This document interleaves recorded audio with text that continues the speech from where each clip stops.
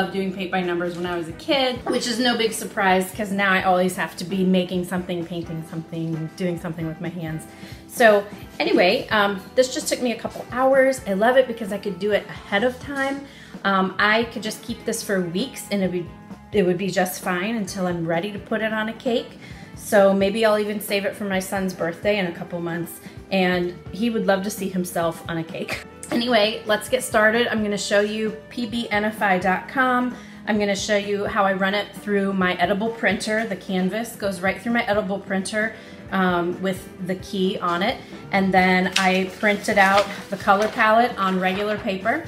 And then I'm gonna mix my own colors with the gel food coloring. You definitely need to have a bottle of white on hand to make it opaque.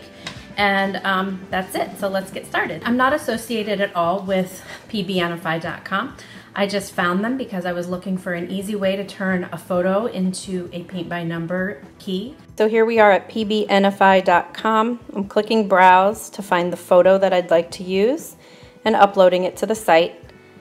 The next step is going to be to click on different points on the picture to select your color palette. So I want to make sure to get a wide range of colors without going overboard. I really don't want to use so many colors that it takes me forever and, uh, you know, has a lot of tiny little spaces.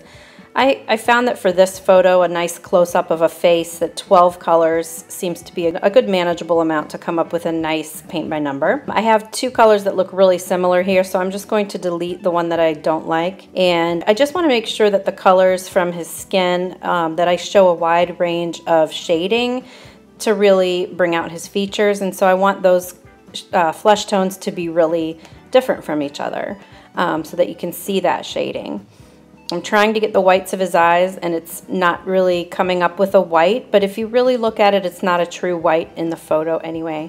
So I'm just gonna trust, trust the process and see how it goes. After I choose all the colors, I'm going to click on the button above that says PBNify. It's right above there. It's kind of hard to see on this screenshot, but here it is right here. And it takes a few minutes. When it's finished, here's what it looks like. It shows you what the uh, colors will look like when you make your paint by number. And if you like it, and I do, you click save in the middle part there. And um, when you click save, for some reason, instead of saving, it just lets you go ahead and print it. So this is the key. I'm printing it now onto my canvas. Uh, I'm using my edible printer from Icing Images and I'm using the edible canvas and printing the key. What I'm using is the Edible Images Edible Canvas. This is a pretty new product from them. I want you to see the texture on it. So it looks like a canvas painting in the end. Now the palette I'm printing out on regular paper. You could use your edible printer for that. You can use your regular printer for that. It doesn't really matter. Um, but I went ahead and used regular paper because I just don't want to waste any edible paper for that task.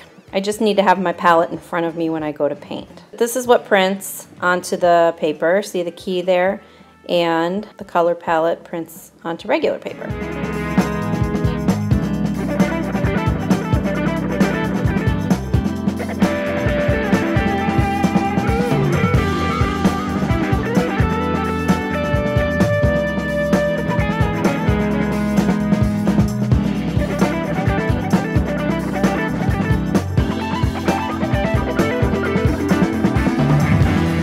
Has the plastic backing on it, as you can see.